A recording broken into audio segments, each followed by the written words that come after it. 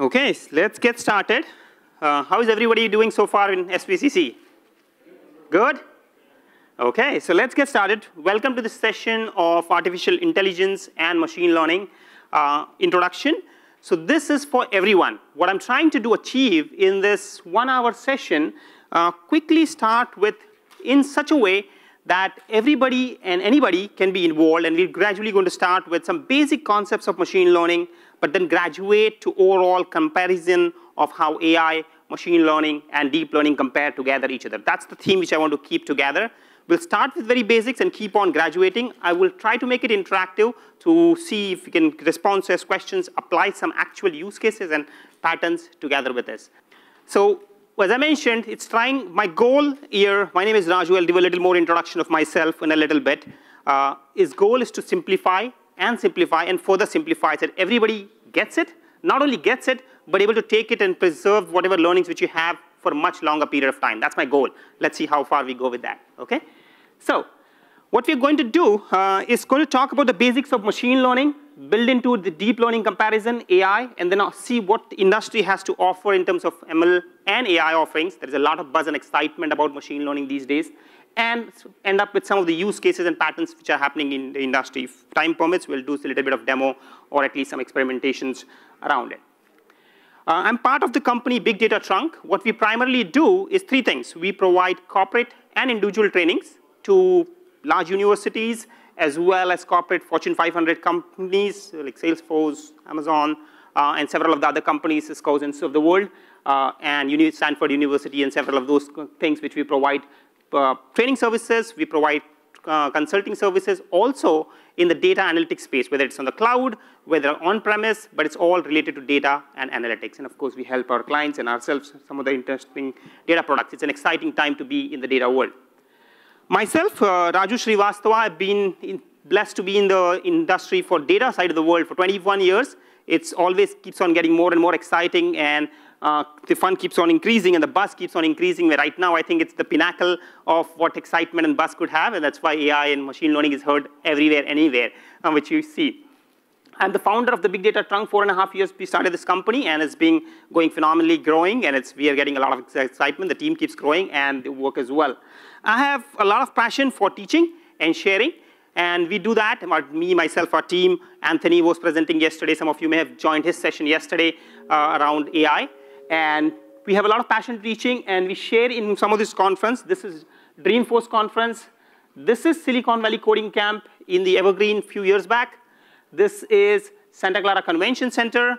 Uh, the topic probably is machine learning. So I have been fortunate to be able to share and discuss with, along with my team in several of these conferences and places. I've been an author for two books. My first book was for Pearson publication. This is how to take big data into enterprise level, how to do a high availability and disaster recovery and all of that for enterprises for big data, which resulted Microsoft to reach me for the second book, which is work in progress, how to take big data uh, into their landscape of what they have cloud, which is Azure, Microsoft Azure Cloud, and they have an offering called HD Insight on top of it. All of that is available on uh, Amazon, so if you wanted to check out, connect with me. I've met a lot of interesting and great people through these conversations and several other things. We have a meetup group around 3,500 people, so I'll share some of those details as well. Uh, I want to quickly get a pulse of the group. So if you can raise your hand in the sequence, I'll keep on asking questions. How many of you are on the software side of the world? Keep your hand raised if you are working in the data side of the world, software and data part of it, okay? Keep your hand raised if you can, uh, if you're working in big data. Very few. How about AI? AI ML. Okay, one, two hands. Okay, interesting. So very few people in the AI, but most of the folks are from the software background. So that gives me a background like where people are coming from. And the expectation on this session is like you know zero about AI, which is rare now these days. Uh, you know at least some of the things. But I think that's what expectation, slowly I'm going to build upon the concepts as we proceed further. Thank you for sharing your background. I want to start with a question. So what do you think when this AI revolution or AI thing has been start, when it get st started? I know some of you know the answers already, the correct answer. I'll take a couple of guesses. Sorry? And what about that? He's Peter, he's the organizer of the whole event. Uh, So what else? Anybody, any guesses? 50 years ago? 1950s. I think a lot of these people have understood this. Uh, it's not a new phenomena. And some may be surprised. Some may be thinking it's five years, 10 years back, which machine learning or AI has started. It's not the case. It's been there for a while. It actually started in 1950, correctly said by some of the folks in the room. And it started, one of the biggest buzz or excitement around this started when something called Turing test was done by Alan Turing. He's an English professor, and he devised a method where, think of it as almost like a chatbot, where a human is interacting with a chat kind of mechanism, and he does not know whether the other side is responding a chat uh, machine or it's an actually human being. And this iteration or test keeps on going on a particular topic for series of a time, and if 50% of the time the human is not able to guess whether it is chat or not, he's confused or he's getting it right or wrong, 50% of that kind of a guess, then the computer or the AI part of it has been successful to really be successful and see what it is actually an artificial intelligence. So that's kind of one of the uh, premises which started back in 1950. Um, Alan Turing has done a lot of work around that. And I just want to give a quick history of how things have happened. This is not the first time which AI has got an excitement. Actually, this is the third wave of AI, what we call it as. It started back in 1950 with the Turing test. And then a lot of excitement and buzz happened in the mathematical, statistical side of the world. In 50s and the 60s, a lot of these algorithms which you may be hearing now and getting a lot of excitement and buzz around neural networks and nearest neighbors and algorithms, they were actually written back in 50s and 60s. That's nothing which has been written now.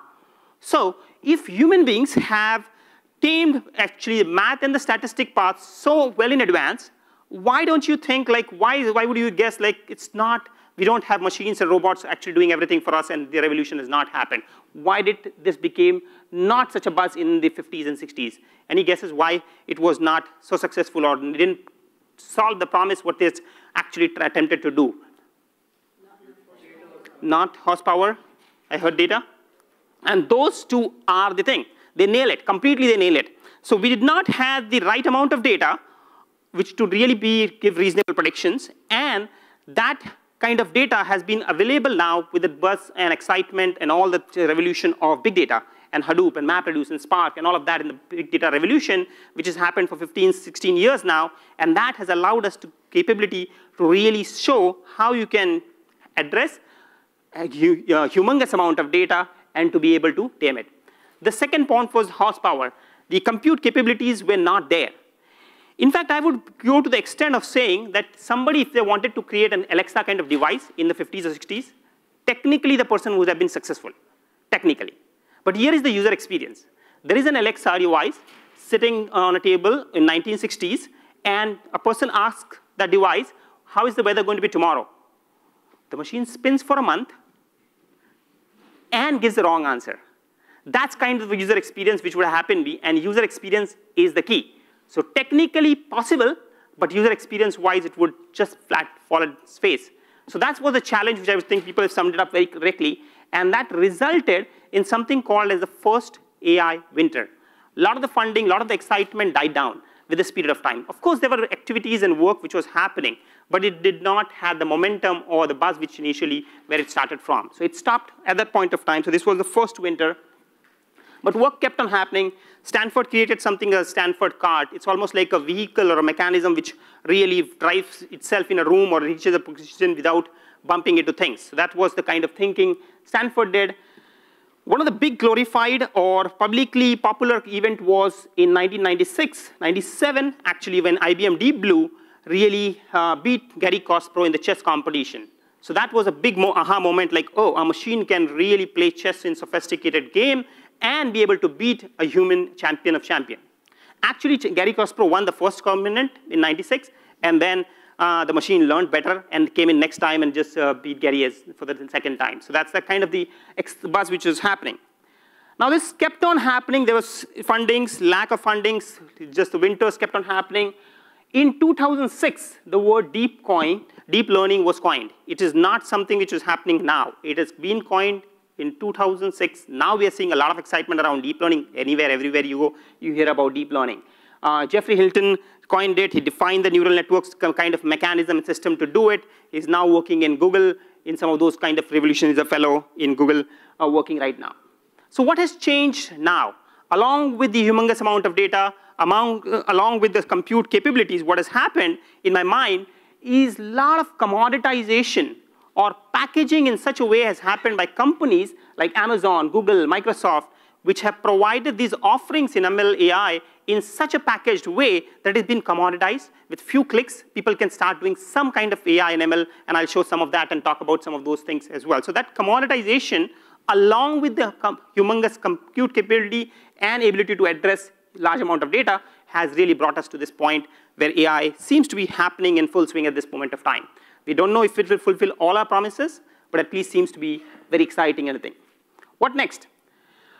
Further things happened is continues in the game. There is a more sophisticated board game, just has more uh, sophistication in certain ways, but the amount of movements which you can have, the possibilities that you can have, Go has much more than that. So actually a machine took 20 years to beat the champion in that category uh, after Garry Kasparov's loss in 1996. So there has been a lot of these things get publicized, which show in a way that there is an excitement, there is a buzz, and actually machines are getting better and better in certain kind of activities in something. What next? Where does it all go? One theme of popularity is called singularity. How many of you have heard about singularity?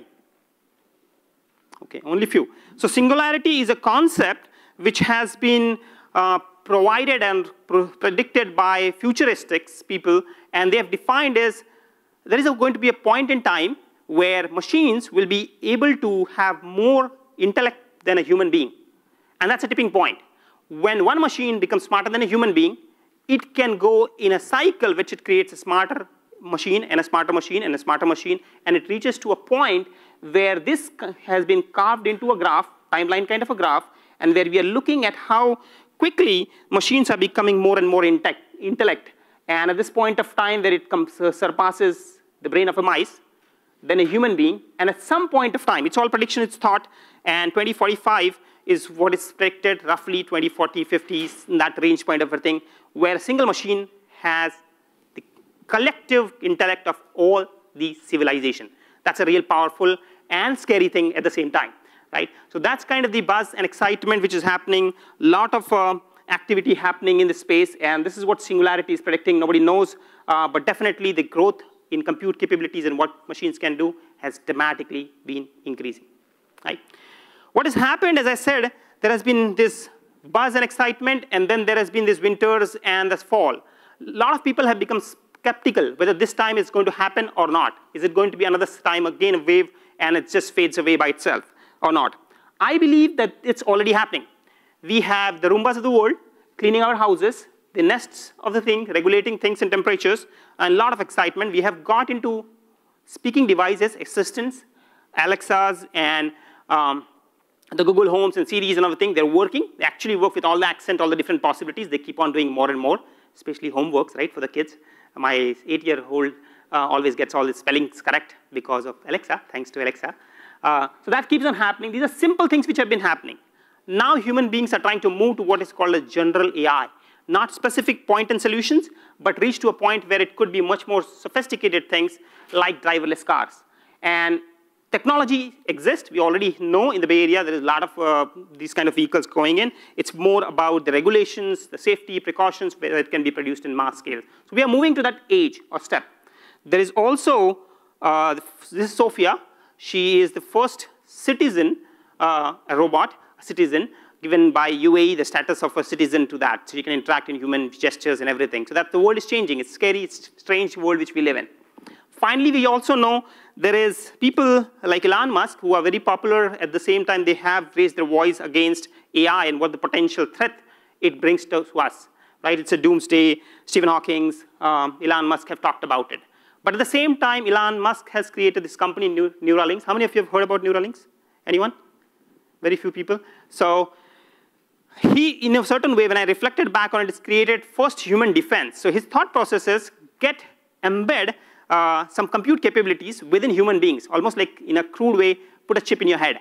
Uh, and your brain has much more sophistication to be able to compete with that machine who's going to be his threat of fear is, is going to be the against us in future down the line. And we, this is our only chance to stand against the defense. So that's what his thought process and what he's building around. So a lot of changes happening, lots of excitement happening in the AI world already. And I'm, I'm not sure, and I'm or rather I could say it will not possibly solve everything in the world, but it's already doing a lot and lot. So let's look at that this way. Now, that's a little background um, and things around what is happening and what not. Let's get into some of the concepts, how technologically this is happening, some con concepts, fundamentals, and how slowly step by step we'll go distinguishing AI, machine learning, and deep learning. So to start with, I want to start with machine learning as a promise what machine learning is, and then go one step by step with other things. Let's start with machine learning. Before I start, I'll just take a one or two uh, uh, questions, responses on this one. What do you think is machine learning? People have different viewpoints and thoughts. There is a lot talked about. So I'm sure you have heard some things. It may be myths, confusions, but I want to just take a pulse. Like, what is machine learning? Anybody? Okay. Okay, so learning, uh, if I generalize that, it, you talked about a Roomba example or some kind of vacuum kind of cleaner, that's perfectly the example where it learns from what its data points and improves and does better thing next time. Anybody else? Any other thought process? It's a quiet crowd. Okay, that's a very official and correct uh, statement. People look at it from different angles. I'm going to approach it in a, from a very, very different angle. Uh, most of you said that you have done programming in some form or shape. Uh, even if you have not done, you know what, how it works. So I want to compare and contrast programming to machine learning, how that gets differentiated. In terms of programming, what happens, there is an input data. Let's take a simple set of data, just one, two, three, four. And in the programming world, a programmer has been asked very prescriptively, a rule-based specific question, can you actually do this program and make the square of single number. In our case, I've taken a very simple example where the programmer has been asked, just take a number and make a square of it. He has a computing device, of course, and whichever language he picks and if nothing, no compilation, syntax errors, this is what should happen. The one will get converted to one, the two would convert to four, and so on and so forth, right? This has been happening for decades. That's what software industry has flourished in several forms, rule-based automations to do in, the, in a broad level. That's what's been happening. Now, how does it differentiate in the machine learning world? In the machine learning world, let's start with the same data set to do apples to apples comparison, input data. But we do not have a prescribed rule. Nobody's saying the programmer do this, exact model, exact rule. Instead, we have outputs for those scenarios. Can somebody decipher what is the pattern between this, or all of you attempt, what is the pattern between these inputs and output? Cube. Cube? It took seconds. It took seconds for us to really do that. What you did in your head is exactly what machine learning is. This is what you probably did. You took the first number and compared with the first output. One is one, you can't decipher much out of that. Two became eight, you got a hunch, a hypothesis, which says, oh, seems like a cube. You wanted to validate it further, you went for the next number. Three became 27. Some of you became very confident and said cube. Some were a little cautious. They looked at the next number and became like another round of testing and everything. We were all good because it was just four numbers and the formula was simple. If instead of 4, if it was 4 million or 4 billion, we human beings step back very quickly. And if it was a complicated formula, that's not something which we are great at. And that's where machines come into picture. They can iterate through this series and series and amount of data and millions and millions of data and then come up with a model. And in this case, they would have come up with something called as y is equal to cube of x. They would have found the answer. But that's not something which human beings are great when it's humongous amount of data and when the formula or the model is not that simple and straightforward as well. With that data, as people pointed out, it can be used for future predictions. Phi becomes 125. So it's a paradigm shift if you think from that perspective. We had a rule-based prescribed engine where you were given a formula, a rule, and you coded that in your favorite language. In this case, that's not the case. Here you are getting the output, which is going to be the model or the formula which is going to be spit out. Is it making sense? I'm going to start with very, very basic things, and slowly we'll keep on building all the concepts which we need for machine learning and have a sensible talk, and we'll try to apply that into a use case. I'll need your help to do that, so pay attention. So with that, let's move forward. You may have heard about the term supervised, unsupervised. I'm sure, how many of you know that very well already? Most of you, right? I'm going to put a different twist to it, a different example for it. Hopefully that only, not only you know it, you remember it and can understand it in a much more thing. And some of people take for granted that they know it. They may not actually know the real basic foundation. So let's take a simple example. I'm going to take a basket of fruits. We have a fruit of, basket of fruits with different kinds of fruit. What I want to do is separate all these fruits. All the apples in one place, all the bananas in another place, and so on and so forth. If you even ask a kid to do this, the kindergarten kid to do this, they will take few seconds, a minute or so, and they will be able to do this exercise very easily. How are they able to do it? They're not sure how they're exactly able to do it, but they are able to do this answer. Somehow the answer is sitting in their head. They have learned in their few years of life through charts, through books, through marketplace, through YouTube videos, their teachers, however they have learned, and they fit that thing, that image in their head along with the answer. When you have that answer available with you, that is supervised learning. That is supervised learning. In fact, if I ask somebody to code, even us to how do you really differentiate between these fruits, we cannot write a program. You might write millions of lines of code and be wrong. There is no formula or program to find fruits. They're not taking litmus, uh, litmus paper and checking the colors and kind of thing, the size and the shape. There is nothing as such. Actually, such problems, forget the speed and accuracy, such problems are not designed well enough to be really done by traditional programming. And that's where machine learning and AI comes much more forward and does thinking like a human brain does. So this is supervised learning whenever you have labeled data. What I mean by labeled data, you have the data in row, it's of this particular fruit, this is yellow in color, this particular size, weight, and it is called as banana. When you have that banana label defined it, your answer is defined, that's what is supervised learning. To understand completely, we have to talk the other side. So let's talk about the other side. In case of unsupervised learning, we are going to have the same problem. Let's start with that. We're not going to call the kindergarten kids. I'm going to call aliens from another planet this time, right? As if I had the power to bring them. I'm making two assumptions about the aliens, that they are not colorblind. I don't know, I've never met an alien, so I'm going to make that assumption. The second assumption I'm going to make is the aliens are not knowing about fruits. They, their planet does not have fruits. Lucky us, we have fruits, right? So with those two assumptions in mind, I'm going to ask them to do the same exercise. They end up doing something like this. That's a little different than what the kids did and what we expected, but they did something like this because they did not have the answers. They did not have that label data. They had something like this, this particular fruit, uh, this particular color, this particular weight, size, and that's it. It did not have a field which said it's an apple, it's a banana. When you do not have the label, it is called as unsupervised learning. Whenever you have a thing. We'll take few other examples, and your data clearly says whether it is supervised learning or unsupervised learning off the bat. As soon as you see the data set, you should be able to distinguish and say whether it's supervised, unsupervised. Making sense? So are, I'm starting with very, very basic things, very simple examples, and that's my goal, to keep it as simple as possible so that it does not only you understand it, but retain and understand it for a much longer period of time, right?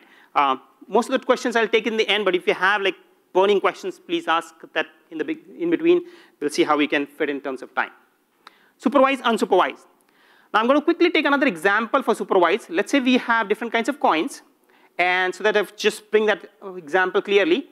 And we want to identify, based on some characteristic, whether this particular coin is what kind of coin. It's a, a Canadian coin, it's a US coin, or whatever. You have these fields, let's say, the diameter, the thickness, and all these values have been provided. And then this is the label what I was talking about.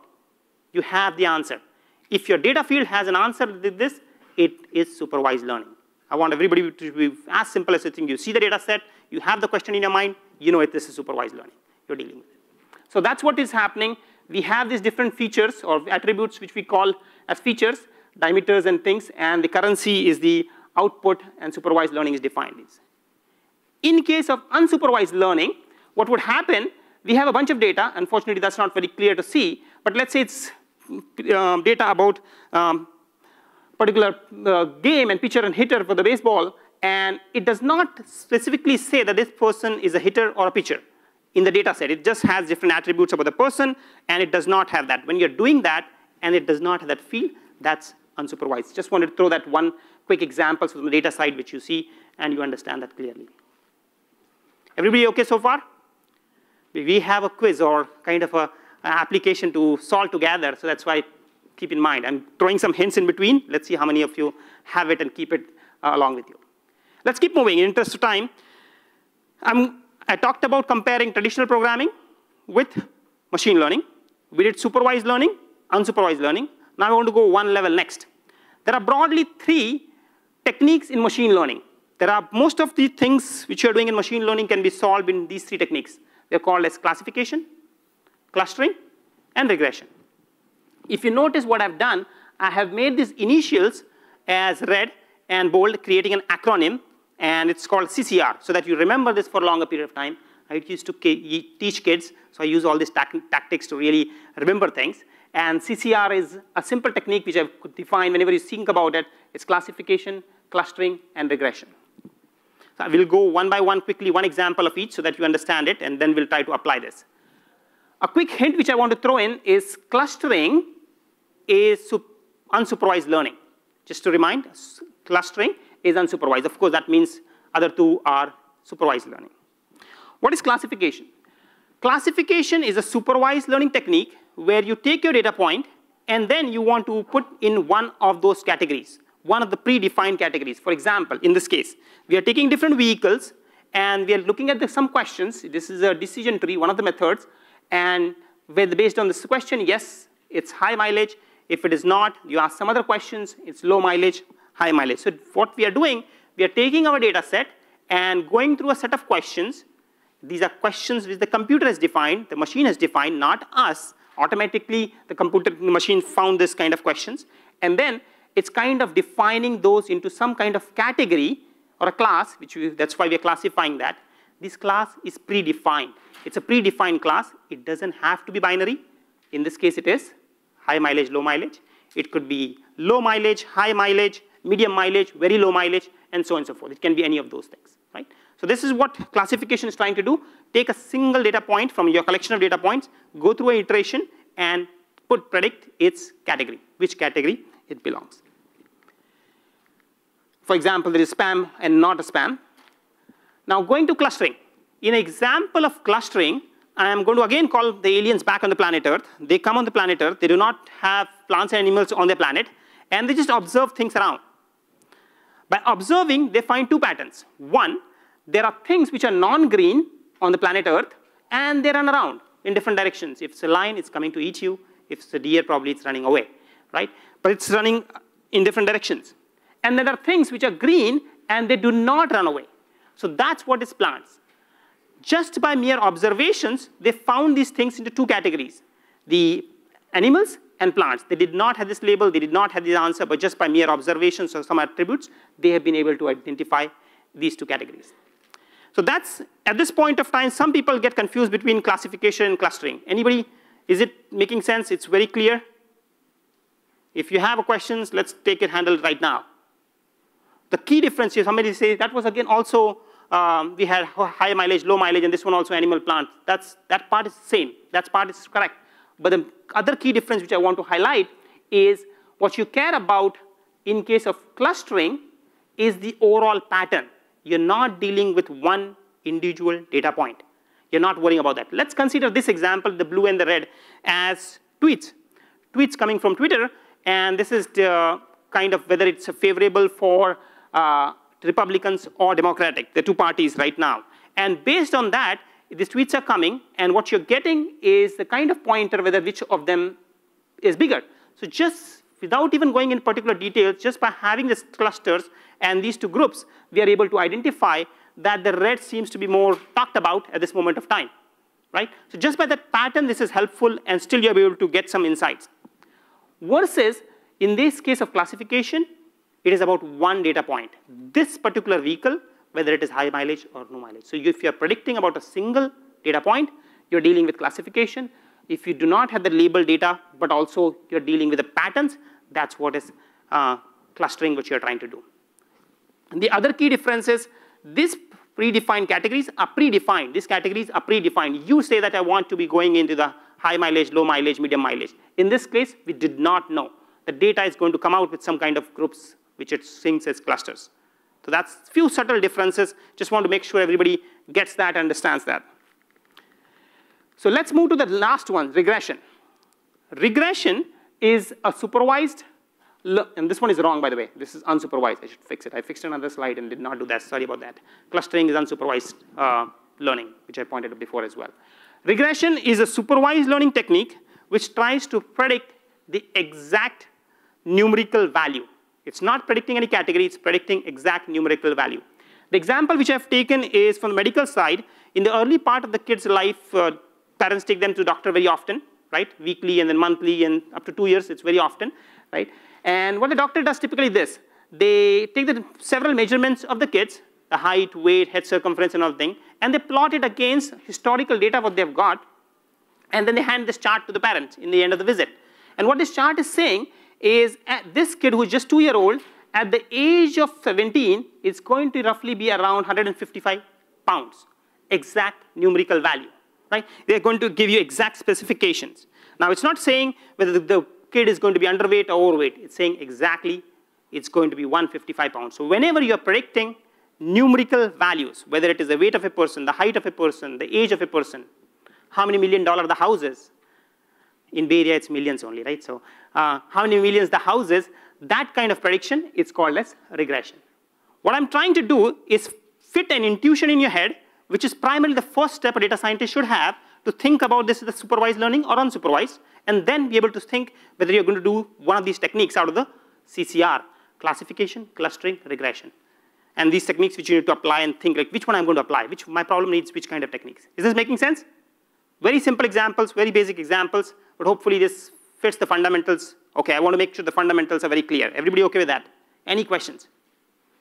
So there is no regression in unsupervised learning? Um, there is no regression in unsupervised learning. Uh, you're just finding patterns. I mean, there could be a debate where somebody can say then this range and this range and this range, then it starts blurring, but it's still categories rather than say, say age from or weight from 10 to 20, 20, 30. If somebody thought, I don't know if you're thinking that direction but it's not about exact specific value.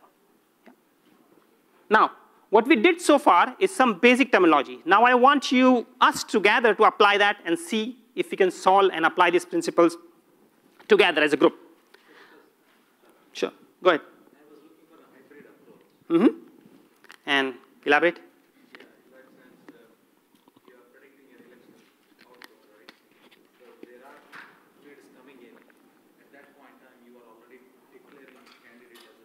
Yeah, Yeah, yeah. In real life, it will not be like you take one technique and you're done. You will end up most likely starting with some kind of unsupervised clustering, and then you go for supervised. I'll give you an example. Uh, let's say you're working in a company and which is trying to tackle the problem of employee attrition, right? And the company is trying to build a model. It's a global company, and trying to filter one model for a global company is going to be very challenging.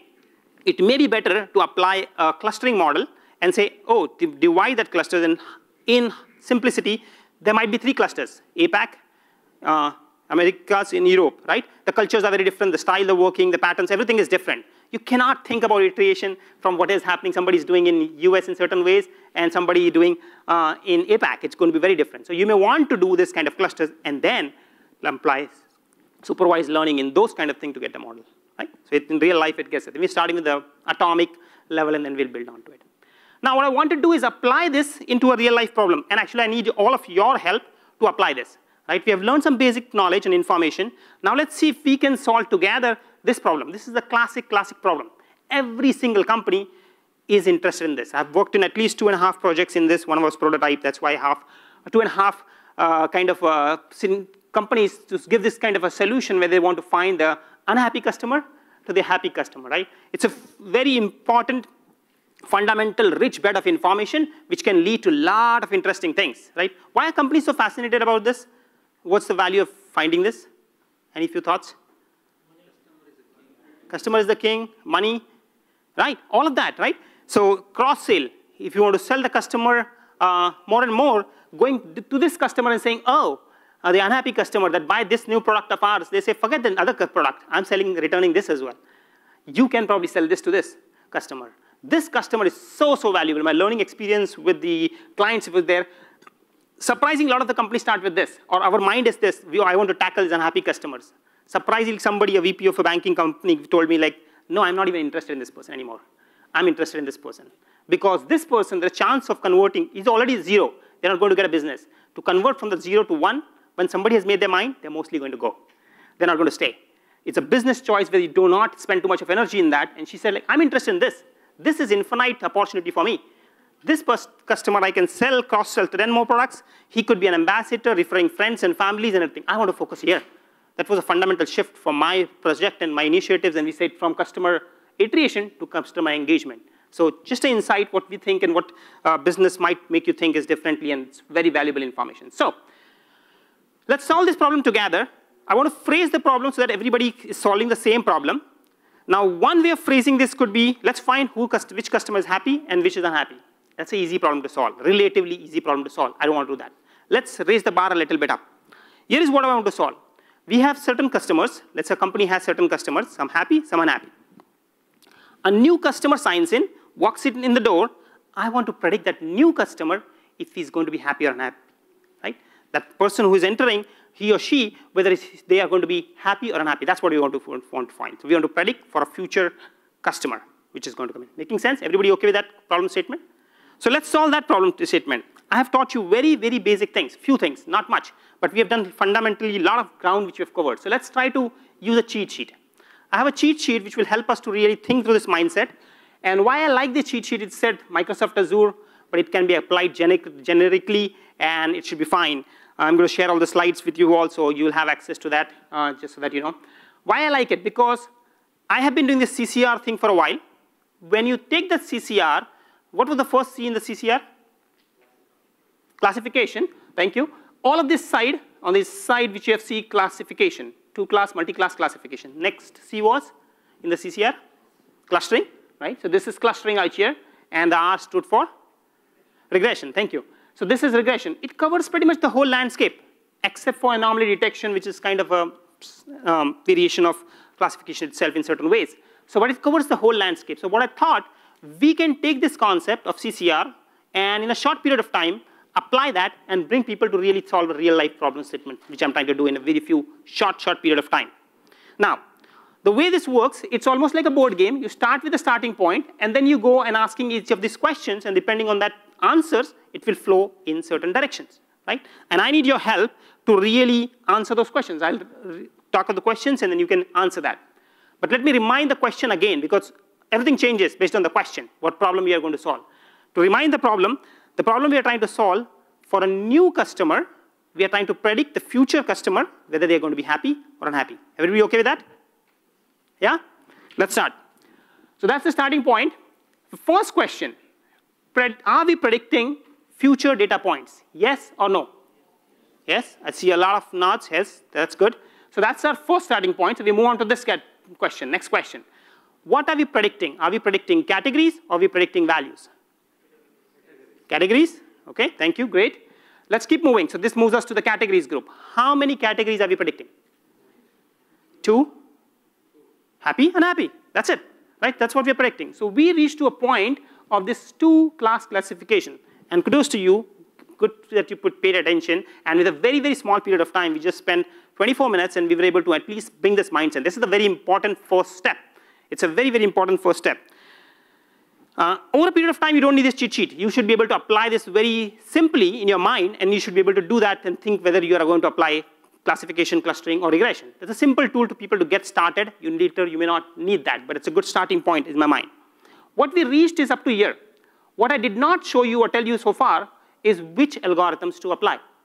Right? I think this, that's too much to do in a short session of an hour. Uh, but here's the, the good news is if I picked any of these algorithm, I'm going to be mostly right. The question is how much right. The question is how much right. It's almost like a weather person who predicts tomorrow is going to be a rain and it does not rain and it's okay. The weather person does not get fired because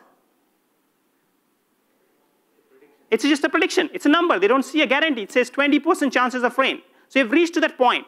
The journey of the data scientist from here on is to really keep modifying, tuning, building, trying different algorithms, trying different things to really keep building so that their accuracy, their concepts come as close as possible to the actual predicted value. So that's what the journey is. This is just the first step, but it's a very important fundamental step which we have to reach. And hope uh, people, I can see light bulbs going on people's eyes and faces right now. That's very useful. That's an important first step. The journey continues from there on. Let's add some more terminology to the concepts to us arsenal. Let's say we have a data set. Here I've taken an example of different lines of code, and it has gender, pair programming, pair programming, two people doing programming together, and how many social media accounts they have. And based on that, we are going to predict, or we, for some data point, we have how many lines of code potentially they will write, or they have written. For this case, that it's already written. So we want to understand. So this is what is provided to you. It has a bunch of rows and columns, right, which we have. In the data science world, what we call these columns as features. So I want to make sure that we start talking that data science language now. And from here on, I'll use that language where it's called as features. You see a capital X. It's a matrix. It's a multiple field. So it's a matrix, and that matrix is represented by capital letters. What it's we are predicting, that's the output or the target. That's a vector, a single column which we are predicting, how many lines of code, and we are predicting that and saying as y. Just for the checking point, like which of the CC thing is it this is in CCR? Is it clustering, classification, or regression? Regression, right? Regression. It's exact a number. It's not saying that less code, more code. It's saying exactly how much. So good, good. Just check checkpoint, right? So we got features, and we have something called as a target. So we have this kind of differentiation defined. Now what happens, going back to the features, a data scientist will look at the data, and there is an important thing about the domain expertise what somebody has to have. And based on their experience, their domain expertise about that topic which they're trying to solve, they would define some of these features are useful and some are not. That exercise is called as feature selection.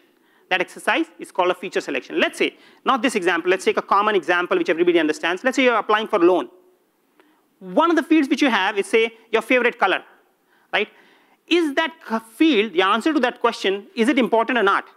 It's useless whether you, your favorite color is red or green, it does not matter. You, you are going to let, get a loan or not does not depend on your favorite color. So that's not a field which somebody you want to put in your machine learning system. Whenever you have that, you will drop that field. So that is an exercise which you are removing certain fields, and that exercise is called feature selection. So you may have heard about this term feature selection. That's what is happening. Which is the important step in the machine learning journey? More important step is something called as feature engineering. That really differentiates a senior data scientist with a junior data scientist. Your ability to do feature engineering. What is that? You're engineering a feature which did not exist. You have three fields here, and you're engineering a fourth field from the existing fields or some domain knowledge. For example, let's say you have a data about healthcare, and you have height and weight of a person. To predict the better weight of a person or how optimal weight the right field, if you know, is BMI. BMI is the better indicator of how wellness of your height, weight, and all that indicator is. That could be a data in features engineered field. You're taking existing fields and creating a BMI field. So whenever that you're doing that, you're improving your data set, and your chances of getting predictions better and better is going to be much higher. So along with feature, you have to understand these two concepts, feature selection and feature engineering. Everybody okay with that? So these three steps which are building that we need for the overall journey. So we have features, we do feature selection, feature, feature engineering. We try to predict the target values. And of course, we have several rows with us. In the data science world, we do not call them as rows, right? We, want to have its own terminology and language. It's called as samples or sometimes as observations. So you have 100 observations or 1,000 observations or millions of uh, samples of data which we have. So those are basic terminology just to make sure everybody is together. So as we start taking and I start using it, everybody's along with that. So we have this data point. Now machines will be fed this data, selected features which will be fed, but machines do not like textual data. Machines do not like textual data. So if we have a gender, male and female, the machines would prefer to have it zero and ones, binary kind of values, all any kind of numerical values. Machines work much more effectively with numerical values not with textual values. What we are doing here is an exercise of cleaning our data or preparing our data, which is a lot of time which is spent doing this exercise. This step is such a crucial step. Your data is never, never clean, except in training environments. It's always messy and it has lots of issues. Whoever working in the data science world, they really, really, really understand that. How much percentage does a, uh, time people spend, usually the data scientist spends or data professional spends on cleaning data, preparing data, and versus actual machine learning? 80-20, 90-10, whoever is saying higher is the more, worked more in the industry, right? If somebody is saying less than 70, I would say they have not worked in the industry. They've done some training things or less than that.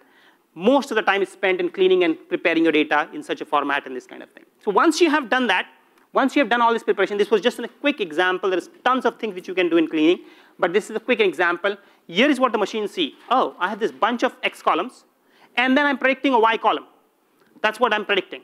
Once I've predicted that value, that's a complex formula, which if I told you to eyeball this and tell me a formula or a model, you would have not been able to so successfully get that. You were able to say that cube thing in the beginning very quickly, but this is not something I, I didn't even challenge you because there's no point trying to that. And the machine is able to do this very quickly and is able to identify exact pattern or what's their best attempt to do that. Now, which of the fields or features is the most important by the machines? Which feature is the most important based on this? X1, which is the number of pair programmings. If you notice, the third one, X3, which is social media accounts, which you have, it's negative. Because if the more social media accounts you have, the more time you spend into that, it's kind of waste from this perspective, and that's why it's not giving you the better numbers, right? What this also is saying, the data is saying, that ladies write two more lines of code generally compared to the men's. That's what data is saying. I'm not saying anything, right? Uh, so I'm not starting any, any conflict here. Uh, but there is, that's what the data is saying in this particular scenario. And I agree, they do. A uh, lot of more work than men's do. So this is what typically will happen. So we talked about few terminologies. We talked about how to really look at your data features, do feature selection, feature engineering, predict a value, and the machine has got this value and it can be put as a model for future predictions. A new person comes in and you can predict that. Of course, there will be a talk of algorithms. A lot of algorithms will be talked about. As I pointed out, this is, I'm not going to go in much detail in algorithms, but of course, you cannot have a conversation without algorithms. There are a lot of algorithms. Some of the popular ones in the list, I want to throw it out, supervised learning, unsupervised, and I did not talk about reinforcement learning, which is almost like a trial and error. You do mistake, you learn from that, and just keep improvising. In fact, machines are playing a game. Whenever you're doing this, all these things, they're, they're just, in their mind, they're just doing one thing they are trying to reduce the error. They're playing a game so that they can reduce the error and get as better and better. Whatever you are trying to do is your business problem, your uh, personal uh, project which you are trying to do, but machines are just trying to do this one single thing, which is algorithms. I'm not going to go to each of them, but you must have sure heard of several of these names and kind of a thing. An hour, I think it's not a, uh, especially for a starting kind of a conversation, that algorithms are not necessary. I can't go into detail of that. But they're going to be a key part of that. Now let's try to sum it up all together and put a very simple data science process, what a data scientist will do. And I want you to remember this so well that if somebody wakes you at 2 a.m. in the morning and asks you data science process, it has seven steps, but you should remember it. Uh, and I'm, I'm promising that you will be able to do it very soon, right? Why I'm so confident about it? Because as you said, some of you said, 90% of the time is spent in cleaning the data. I have created an analogy, another analogy of diapers. It's a seven-step uh, process, and it's a perfect analogy because the extreme kind of cleaning, parents know it very well, is this. It has all the visual, the smell, everything, everything, the waking up in the 2 a.m. in the morning, everything. So diapers is a perfect analogy for that. What I've done is created these seven steps. Each of these initials letters stand for a step in the overall journey. And I think you'll be able to remember that much easily compared to if I gave you arbitrarily seven steps. What are these seven steps?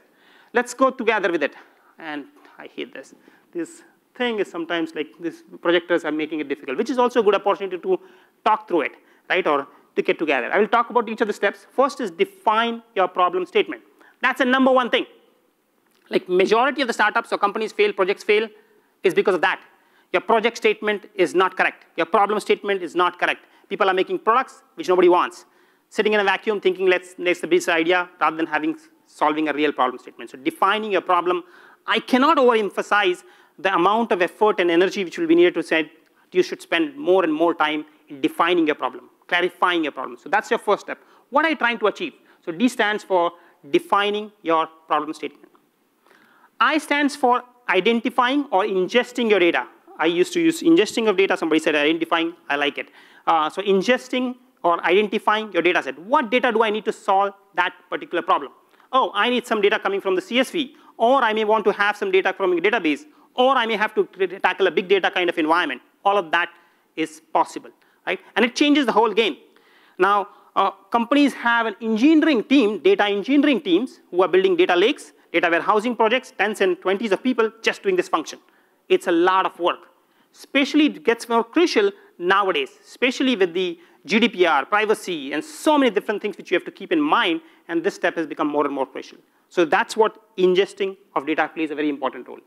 A stands for analyzing your data, understanding your data, whether I have clean data, whether I have all the data sets which I need, do I need to go back and get more data, or do I need to clean my data and remove some of the data sets, all of those possibilities. P is preparing your data. Now I understood my data is not enough, I'm going to get and collect more data. I'm going to maybe clean some data, like the ones we did from female male to zeros and ones. Most of the time, people mandatory fields are not filled in. You're going to fill in some data. All kind of different formats of cleaning, which you'll do. So the fourth step, which is not showing up here, is prepare your data. Out of the seven steps, four are done. We did not talk about machine learning at all. Right?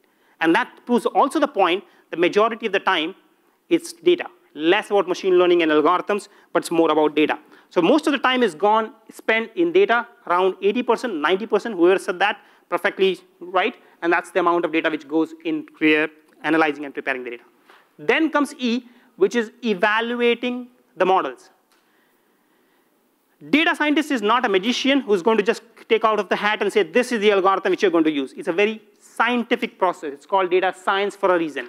It's a very scientific process. You try different algorithms, five, six, ten sometimes. You different algorithms which you're going to try, and then you're trying to see what's coming out better in my particular scenario. It's a very iterative, painful, detailed, going into crunches and trying to solve that problem. It's going to take that kind of thing. So multiple algorithms. After that, you will finalize these two algorithms are doing well for me. Just two simple algorithms are doing well for me, or this particular algorithm is good for me. I'm going to go and tune that particular algorithm which is called as the refine the model step, which you are refining and trying to identify this model is going to be the final model which I'm going to take it forward. And the S stands for ship it. Let me do one more click. It does not, I hate that. It is not showing up at all. This is, I'll repeat. Or let's together repeat. Let's see if uh, we all can say together. What is the D? Define the problem statement. Great, thank you. I, ingest the data. A, analyze the data. A lot of work is gone. The more time you spend in analyzing, the better you're going to be up front. It's like sharpening your saw. That's the time which you have to spend there rather than thinking about algorithms. Spend the time there. P, prepare your data. So all the cleaning, all the fixing of data will happen there. E, evaluate the models. Several different models, you're going to evaluate the models. R, refine the particular model, one or two, last finalist kind of a thing which you have selected. Thank you. And finally, S, ship it. The productionalize it, ship it, and this needs a lot of these regular software engineering steps which you have to really make. Monitoring is there, logging is there, error handling is there, all of that has been taken, automation is there, all of that has to be accounted there. Yes. Question?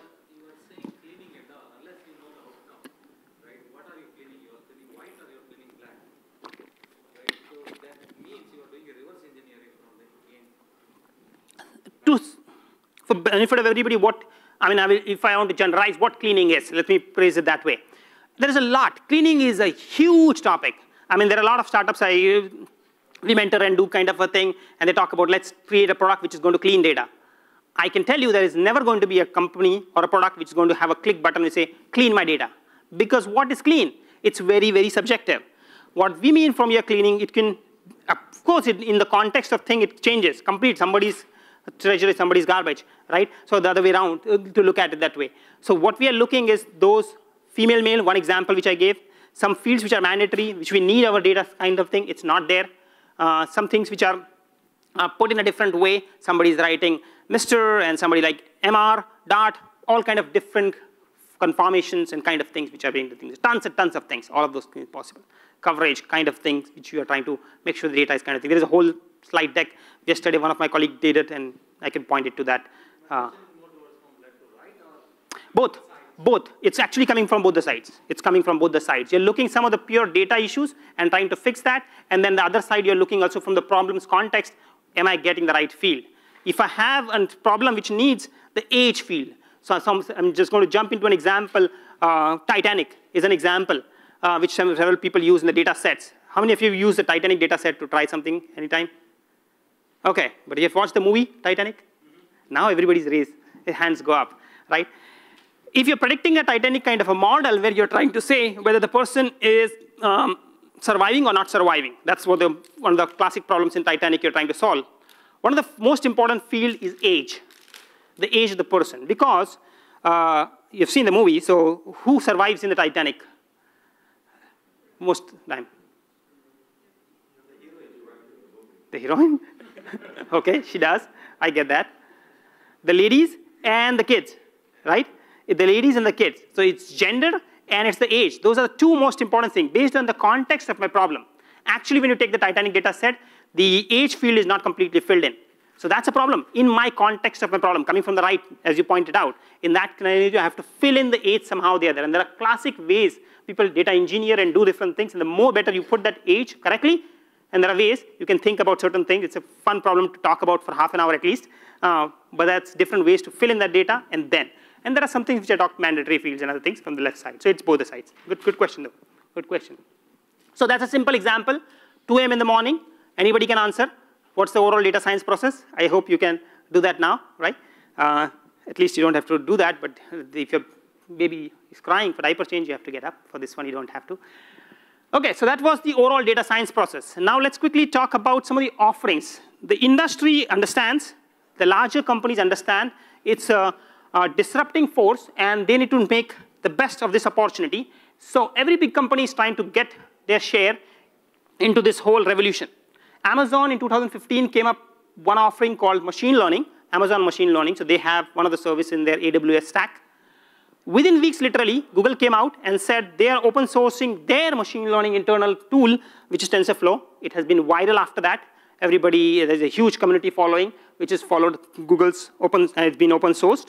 Uh, Microsoft came late to this whole game of cloud, and of course, machine learning as well. But I think they did a decent uh, turnaround. Satya Nadella has done a decent turnaround and turned the company around, and they have an offering on the Azure machine learning offering uh, on their offerings on Azure. Um, I'm not biased uh, on Microsoft, but I would tell you like it's, it's truly a drag and drop kind of a tool. So somebody who does not have coding uh, background may want to try this first. And it's free. You can just get in uh, without subscription, just sign up and start using it, drag and drop this algorithm, that algorithm, it is there. Of course, there's a point where you'll start, stop limit and you'll have to start coding. Uh, but it's a great starting point if you are not a programmer and coder and you wanted to try that out. The fourth option, which I'm going to put out, is uh, Spark machine learning. So how many of you have heard about Spark? Quite a few. Whoever worked in the big data side of it, they have heard it. Uh, it's one of the components in the big data world. And it's a processing framework, a very powerful and strong framework which does processing of all kinds. And machine learning happens to be one of that format, right? And this has a processing. Most of the time when you're solving this data, Amazon also has it. Most of these things have Spark embedded under, underneath the hood. And whenever your data is humongous, and you're dealing with large data, you will end up coming here eventually in some form or shape. Most of the companies will come up here. So these are packaged offerings. What these companies have done, I call them as distributors.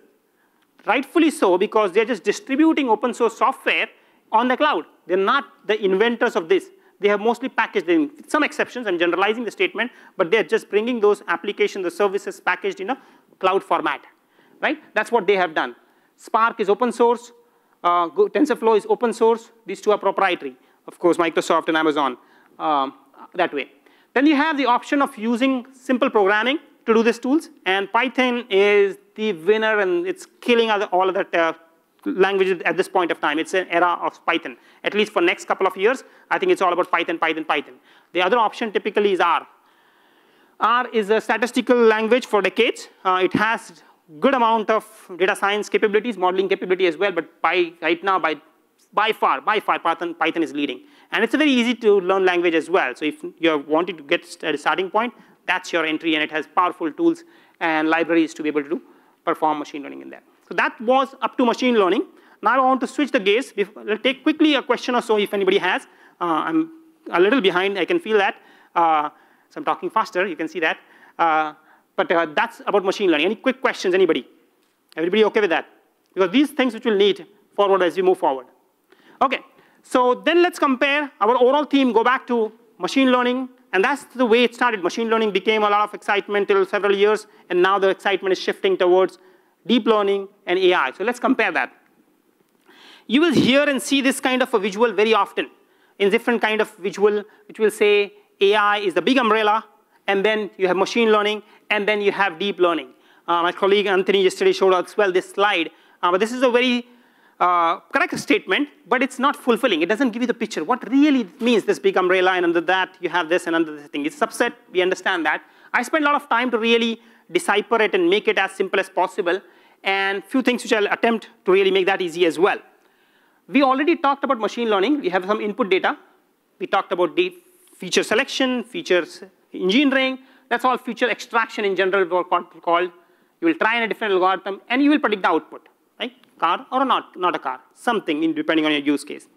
What deep learning is doing, it's making a black box to this whole exercise. And it's taking some of the work, and it's kind of automated machine learning. I'm generalizing that statement quite a lot. It's automation of machine learning, where you do not have to do select features. You do not have to define what tactics you're going to use, and the machine is themselves going to pick up and do deep learning right? And do that for you and give you the output. And many times it will be better output than machine learning. Most of the times, not always. Now the question somebody will say then why I would want to use machine learning at all? Why don't I just move to deep learning? Yes, a lot of action is happening to things, but to me, it's not an or, it's an and. And I'll explain why that's the case. What I did is like I spent a lot of time trying to summarize everything about machine learning, AI, and deep learning into one single slide. And this is the slide which I came up pulling out information from the net and different sources and different places into one combined sheet so that we can compare and contrast this. I'll go to AI a little bit later. We talked about machine learning, so first let's tackle that. Machine learning around 1980, which started more of that uh, revolution. What it is doing, it's doing one specific thing. Dog or a cat. Person, uh, this is a fraud transaction or not a fraud transaction. Getting a bank loan or not. It doesn't have to be two things, but solving one particular problem and I, okay. uh, one particular problem. The benefit or the good thing about machine learning is this. It does not want humongous amount of data. Even if you have a CSV with few hundred rows, you can do machine learning on it. I cannot say that about deep learning. Deep learning needs humongous amount of data to be really be able to give any sensible prediction. Because it's trying to figure out all those things itself, so you need data. When it needs data and it's handling such amount of data, it also needs huge amount of compute capability. And that's why GPUs and cloud computes and all that thing will be needed. Mostly a standard laptop will be hard to do much of deep learning exercises. Right? So that's the difference. So also that you cannot think about that's the only hammer which you're going to use and use always deep learning for every single thing. It's not. It based on your case-to-case -case scenario, based on your data size, based on your need, you may have to make a choice. Some of the things which deep learning, which started back in 2006, the term was coined, and interesting things which it does, it deals much better with the unstructured data. Images, audios, videos, these kind of data. And you may have seen on the net uh, a lot of black and white images converted to color, right? And that's what deep learning is able to do it. How it, how it does it, let's say somebody has an old image which is black and white, it has an umbrella. What it will do is first it will do an object detection. It will say umbrella. Typically an umbrella is usually black. So it will paint that thing as a black color image. In fact, that actual reality when that happened 50 years back or 70 years back, that umbrella may have not been black. But it will just do this because of the nature of how deep learning is going to do it. It's not going to be accurate, but it's going to fulfill that job. So that's how it does it. A lot of interesting things which it can do. It does need a lot of different data sets. We talked about some of the algorithms or touched or just highlighted. Similarly, what we have is neural networks, convolutional neural network, you have RNN, ANN. I'm not going to get into those things, but briefly we'll touch that uh, a little bit, but not much. And we use Keras and TensorFlow uh, and these kind of applications. So that's kind of the high level difference.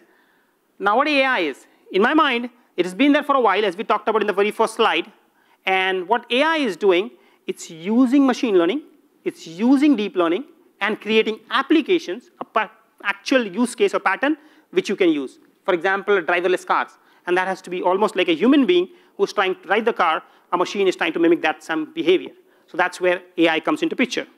AI has lots of different benefits and advantages compared to human beings, and that's why they're able to do driverless cars, Alexas, are possibilities. So that's how I look at it. Now let's spend a little more time on AI. Generally, there are two types of AI. One is a narrow AI, which has, we have tamed it. We have addressed it very well. All the specific tasks or small, small things, which can be machine learning, you can think about it that way, and spam detection, historical data, predictions, all of that has been done. Now, what we are really striving for are moving towards general AI. And general AI is really powerful, sophisticated, has social implications, and a lot of challenging. That's why it's taking much more time. And it has job impacts, a uh, lot of scenarios being talked about of doomsday and all of that kind of thing. So that's what we are heading towards. If you look at from a different angle, AI, as I said, is a combination of machine learning and several of these capabilities with deep learning and other things try to do. You have NLP, you have speech, all of these kind of things defined. If we were to summarize in a simple way, AI is, as it's trying to mimic a human intelligence. And human beings have intelligence based on their senses. The senses are playing a very important role. And I think machines are trying to get those senses over a period of time. We have eyes and vision, and so do machines. They have computer visions. In fact, they have become much more powerful in this category than us. If you have uh, if you find your friend 20 years later somewhere and you meet him, you may not be able to recognize. A machine is going to recognize it very, very correctly.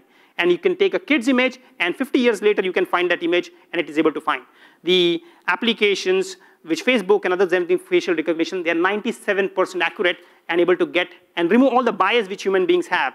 Facial fears, different kind of scenarios, angle, the light, we get biased. Machines do not. They have become to such a point, they are able to do this much better than us. Of course, they have their own challenges, but they're getting much better as they can. It's used for object detection, there's a dog, there is a car, or they're doing facial recognitions and used in many, many applications. Speech. We are able to talk, communicate to each other, right? And machines have become like that. You are using audio more and more to say the directions, get me home, and interact with Alexas of the world, and you're getting responses. That word which you're speaking is converted in from voice to text. Some commands are taken, output is resulted, that's converted back from text to audio, and Alexa is responding back to you. A lot of action happening in the spur of a moment. You do not realize how much amount of churn, churning of data is happening to make this happen. But machines are able to do that very well. One thing which machines thrive and more successful in that is memory. Their memory is way, way, way better than us. As we start aging, our memory start fading. And even in fact, I would say forget age, uh, we should not rely on our machine uh, memory strength. Our memory strength is the weakest. Machines are much, much better than that, always have been, right? And that's why we use that capability. And they have a huge, huge knowledge base to go back the world and uh, different databases and applications which they have. And what they have done with all this capability and able, ability to search for an instant answer, for example, Google is moving from the uh, scenario where you ask a question, it gives you hundreds and millions of answers. Instead of getting, they are creating something as a card, which gives you one answer, not thousands of answers. If it is one definite answer, then of course they're giving you scenarios and everything. Um, many of you may have noticed that in Gmail, you type a few sentences and it starts auto-completing. How many of you have seen that? Such a cool feature. It's automatically writing. I'm now in Outlook also, I'm typing it. Why is it not competing? It does not, it's Outlook, right? But uh, Gmail is able to do it, and that's such a sophisticated kind of thing. Even if you just search, if you write three letters, Google knows what you're trying to type. And probably the first five things they, you're thinking, whatever you're thinking is in the top five. They know much more than that. Uh, what maybe your spouse knows about you, Google knows, knows more about you than your spouse. Uh, scary, but that's truth. So what I want to summarize is over a period of time, that's what is happening. Machines have been getting slowly and steadily building the senses one by one and have their own strengths and combine together to give us the results which we want and sophisticated applications. Again, similarly, as the applications uh, industry has, Amazon has created their own offerings on there. They have something called the SageMaker. I wanted to give you that glimpse of what options you have. Google has TensorFlow, of course, which can do deep learning, machine learning, AI as well. They have something called as AI Hub. Microsoft has Cortana, uh, and they have uh, Azure Bot and several other things kind of thing in their stack. IBM Watson is pretty popular. They also have machine learning offering, but I had to restrict certain, so I've not put that on that side, but they are present as well in interest time, I'm going to rush quickly with these industry use cases. I have very few minutes left. So what's happening in the AI world? A lot of action is happening. What is predicted in the by 2020, and in fact, a lot of sites are moving their interactions, customer services into chat and intelligence, which is written and voice, and 80% of that is going to move there. It's already happening. Uh, e-commerce is using that very, very effectively, very powerfully to the scenarios. Uh, if you watch this Noah video, uh, Amazon has this warehouse with tons and robots running around, doing all these things and taking over a lot of the work and tons, giving you same day delivery or the next day delivery. It's all possible because of this kind of sophistication and automation. Uh, in the healthcare sector, uh, there is this virtual doctor Molly, which is uh, especially for senior citizens or some things, there is a device which keeps you on a daily basis, takes you steps and monitors and you interact with it and takes your vitals and thus you're okay, you need to do this, you don't do that. So it's an impact on the healthcare side as well. Healthcare has a lot of impact. In fact, more and more changes are happening. If you search for, this is checking your retina images and then looking at the uh, blood pressure and diabetes and all those things are also being regulated uh, as well. Uber and Lyft, using it for machine learning for supply and demand, route optimization, and several of these things which they have done and build billion dollar empires just because of the data services which they are able to provide. In the banking sector as well, uh, there is front office, back office, processing loans, all of that has, a lot of that has been transferred to AI and machine learning. Here is a glimpse by sectors. Uh, there is not a single sector which is not impacted. Pretty much every single sector has been impacted on machine learning in some form or shape, AI in some form or shape on some startup, and things are happening right now in so many different sectors. A lot of positives, but also there is a downside to this as well. AI and the ethics. There is a lot of talk these days about this, and rightfully so. There, uh, there is a major impact on our lives, human way, the human civilization is going to turn around in future, right from the extreme of our privacy impacts to how this is ethical. Are we creating another kind of species? Are we creating a threat to our own thing? How is the transition from human beings? Uh, every transition technology which happens, the answer is like people will transition, they will learn it. I believe, and a lot of people believe, this one is a big jump. Converting everybody to a robotic or a computer engineer is not that easy, right? Taking all your truck drivers, all these different roles and kind of thing. In fact, the funny thing is, a lot of things I talked about in the AI world is about the low-end jobs, uh, the flipping the burgers and all the things. Actually, now it is becoming more popular that actually the high-end jobs are at risk as well. Uh, the examples of scenarios where doctors, I'm not saying the job at risk, but I think those can be taken over as well. Uh, JP Morgan Chase has devised a system AI system which can look into contracts and they can do in an hour, which is hundreds and hundreds, thousands of uh, things are being converted into by thing. Instead of a lawyer just doing few seconds, it is being done by so many hour, by a single hour by machine learning. Which brings us to the thought of a lot of people have saying the Skynet and the Terminator kind of vision uh, or the fear. I'm not going to take that. And the last slide, which I want to quickly point out, is our optimistic view at the world where AI is able to do a lot of fun things and simple things, col coloring the images, uh, black and white, that's just fun things, but at the same time, doing sophisticated things for um, disabled people and everything with my leg injury. I was wishing that I had that something I had so that I can come uh, driving myself over here. Um, there is scenarios where machines are able to go into nuclear reactors or fire hazardous situation and then human beings don't have to do this. And also in the healthcare where a single image scan which you can take and can detect whether a person has a cancer or does not have cancer and then early detection is going to be key for every um, prevention and the cure of the disease. So what we did in a very short hour, we started with very, very basics. I started from machine learning basics compared supervised to unsupervised. I hopefully gave you a few very simple terms so that you remember and remember for a long period of time. We talked about CCR, we talked about the diapers model, and compared how machine learning started, build onto it, and over a period of time compared to different offerings. And I want to leave you with a hope and a bright future. I know there are challenges and downsides to the AI as well. Everything has side effects, but I would long to give a with a positive note, which I'll end to it. Thank you very much for joining in. Thank you for the session. And thank you for being in there. I'll take questions. I'll let the other gentleman get a setup done. But thank you very much. I'm going to hang in here.